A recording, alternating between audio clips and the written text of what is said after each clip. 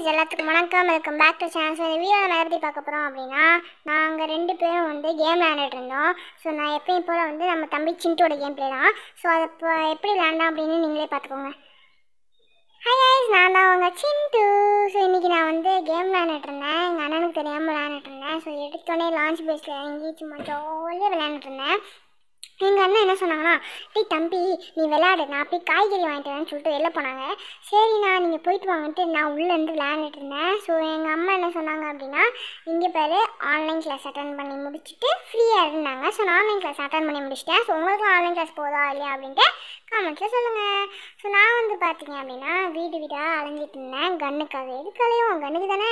So இந்த கண்ணுக்காக அலைஞ்சிட்டு இருந்தேன். ஸோ அப்போ தான் எங்கள் மேம் சொன்னவங்க ஒரு ஞாபகம் வந்துச்சு. என்ன சொன்னாங்க அப்படின்னா தமிழை வளர்ப்பது எப்படி? அப்படியே ஒரு கொஸ்டின் கேட்டாங்க. சரி நான் அதுக்கு ஆன்சர் தேடிட்டே விளையாண்டுட்டு இருந்தேன். அப்போ எங்கள் அண்ணன் வந்தாங்க. அண்ணா இங்கே வாணா அப்படின்னு கூப்பிட்டேன்.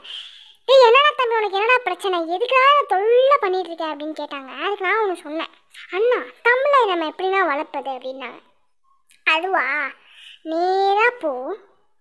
புக்கு புக்குன்னு ஒன்று இருக்கும். அதை போய் எடுந்தாங்க நான் யோசித்தேன் கேம்லையாண்ணா இருங்க நான் தேடுறேன். டே லூசுப்பேலே அப்படின்னு எங்கள் அண்ணன் சவுண்டு விடுறாங்க. என்னடா அப்படின்னு கேட்டால் டே லூசுப்பேலே கேமில் இல்லைனா ரியலாக போய் புக் எடுறான். புக் எடுத்து படித்தா அதான் தமிழ் ஞாபகம் வரும்னாங்க. நான் அப்படியே விளாண்டுக்கிட்டே இருந்தேன். தமிழ் படிச்சுட்டியாப்பா இப்படி தான்ப்பா வளர்க்கணுன்னாங்க அண்ணா சரி நான் பரவாயில்ல எனக்கு ஒன்றும் பிரச்சனை இல்லை நான் கேமே விளையாண்டுக்கிறேன்ட்டு கேம்குள்ளே பார்த்தேன்.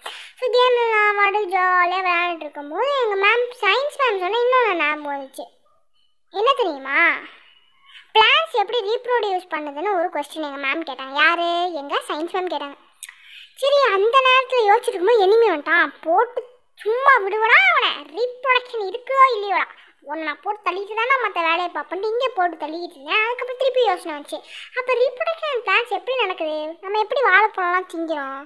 வாழைப்பழம் மட்டும் இல்லை போனாடெலாம் எப்படி தின்னு யோசிச்சுட்டே இருந்தேன். பார்த்தீங்கன்னா அதுக்குள்ளே ஒருத்தன் வந்துட்டான். கில் பண்ணி சும்மா வேறு லெவலில் கேம் விளையாண்டுட்டு ஸோ இந்த மாதிரி ஃபன்னி கேம் பிளேயில் நிறைய கேம் பிளே நம்ம போட போகிறோம் அதாவது நான் உங்களுக்கு ஷிண்ட்டு போட போகிறேன் ஸோ இந்த வீடியோ பிடிச்சிருந்தா லைக் பண்ணுங்கள்